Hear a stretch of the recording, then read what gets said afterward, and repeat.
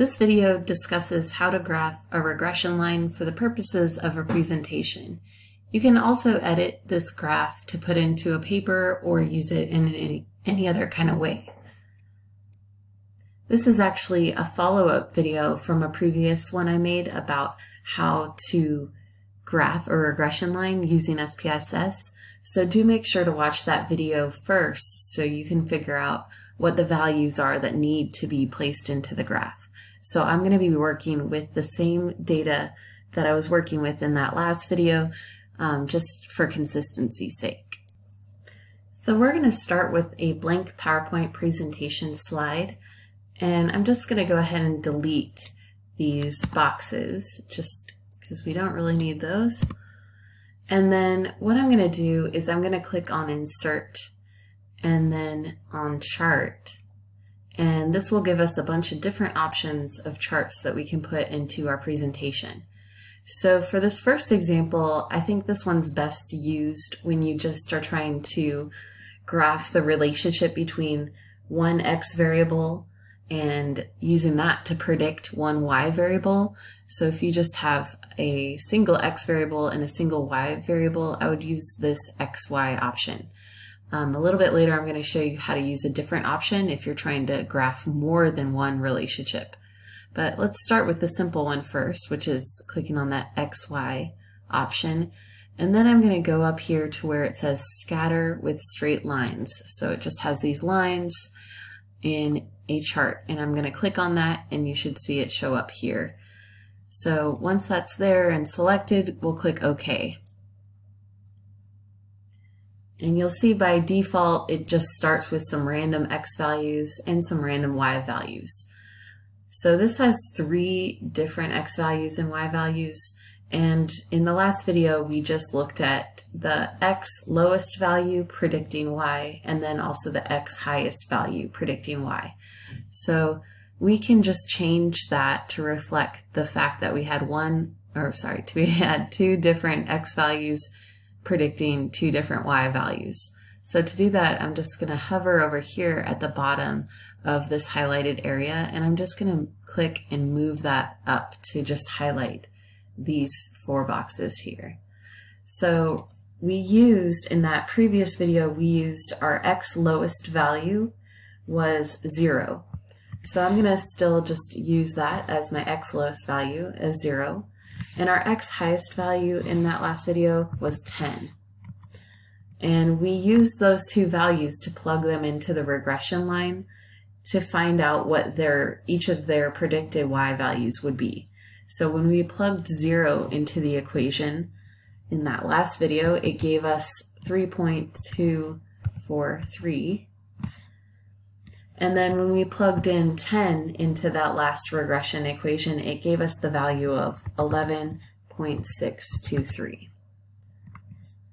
And you'll notice as I've entered these values here, it's changed how this graph looks.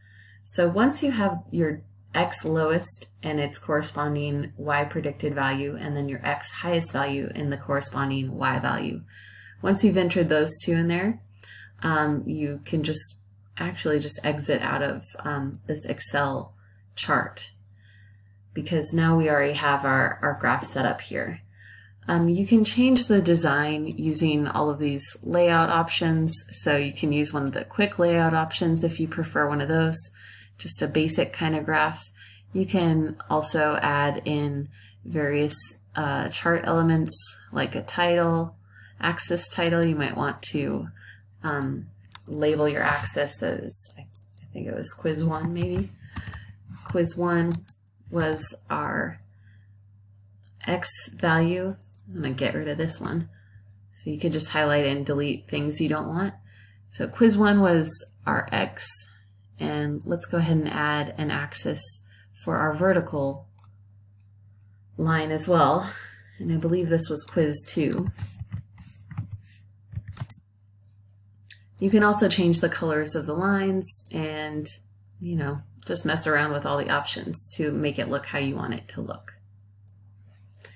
And you'll see up here in the chart tools in the design and, you know, add, I showed you how to add different chart elements, but also um, you can change things here through this side option that allows you to change different things like the chart area, the axes, and so on.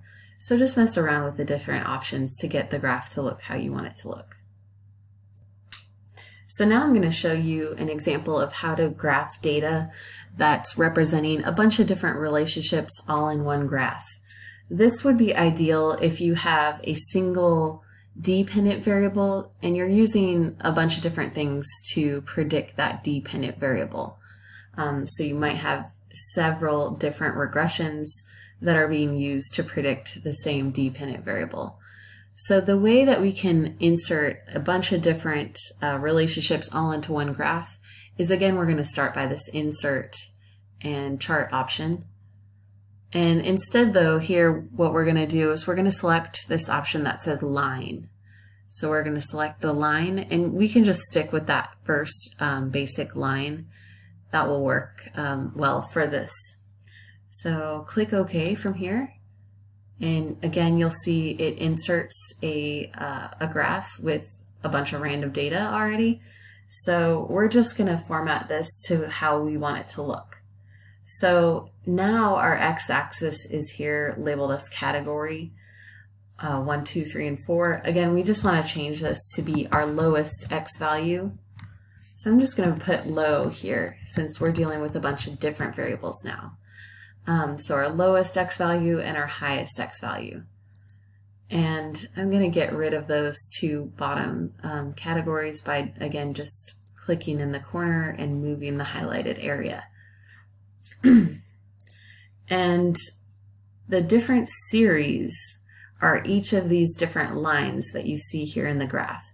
So if I have, you know, um, one regression where I'm using one variable to predict my y, that's the first series. My next regression would be the second series and so on. So let's say that I'm trying to predict happiness and the things I'm using to predict happiness are, let's say, sleep and maybe events.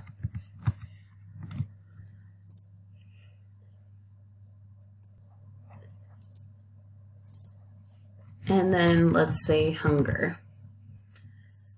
So each of these or each of these columns here is representing a different regression analysis. So this would be your X low value in that regression analysis using sleep to predict happiness. So you'll use that same procedure to calculate the low X value so I'm just going to say that I'm just going to insert random numbers here, but let's say that uh, when we entered our lowest possible value for sleep into our regression equation, and then our highest possible value of sleep entered into our regression equation, those are our two corresponding predicted values for y. And then we have to have a, a whole different regression equation for this next series. So we'll have from our regression analysis, we'll have a new regression line for each of these different variables. So let's say that events, we had two and six. And then for our hunger regression, we're going to also again have a different regression equation that we get from the output. So each of these different columns is representing a different regression equation.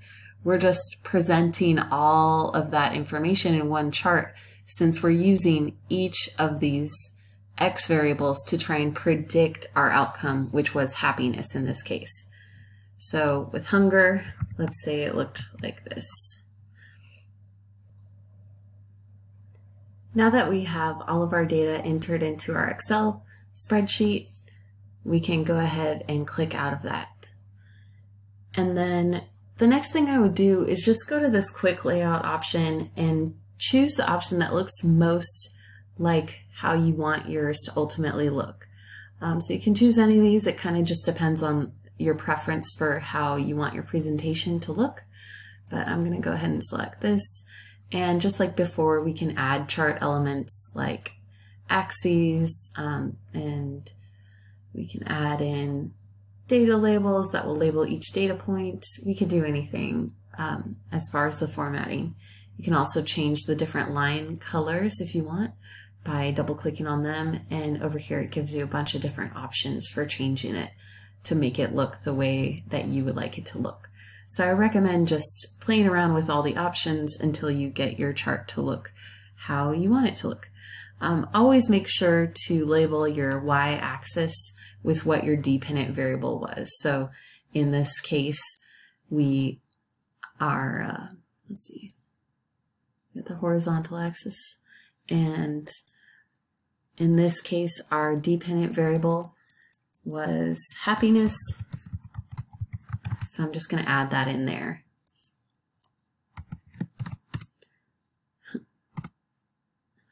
And so you can move that label around too as well. Um, so just mess around with those options and get it to look perfect for your presentation.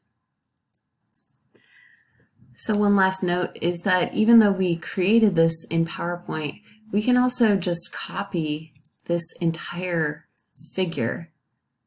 We can copy it and then paste it directly into almost any other program. Um, but in particular, you might want to copy it into another PowerPoint presentation, or you also might want to copy it into a Word document.